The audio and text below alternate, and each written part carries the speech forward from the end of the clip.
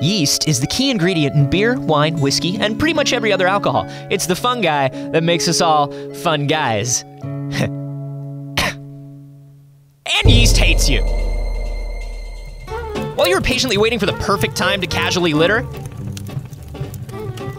nailed it! Yeast was busy plotting an unholy takeover. And I'm not just referring to yeast infections. That would be a holy takeover in your vagina, your rectum, or your mouth. Even if you only have two of those, that is horrible. Do we still have to keep going with this video, or is that enough proof that yeast hates you? Still want more? Good, because yeast is also going after your pets. It's called bread dough toxicosis, and it's what happens when yeast from uncooked bread dough gets into your pet's stomach, causing bloating, loss of bladder control, and compromised blood flow. And that's just yeast's short game. Its long game is cloning. Yes, cloning. Yeast reproduces asexually by creating copies of itself, and now yeast is trying to make copies of us. They're called yeast artificial chromosomes, and they're how yeast helped researchers make advances in cloning technology. Advances that could someday lead to the cloning of you, man. And there is no telling what the yeast built clone you will do. Will it take your wife, your job, your haircut, your soul? What I'm saying is, when it comes to yeast, infections are the yeast of your worries.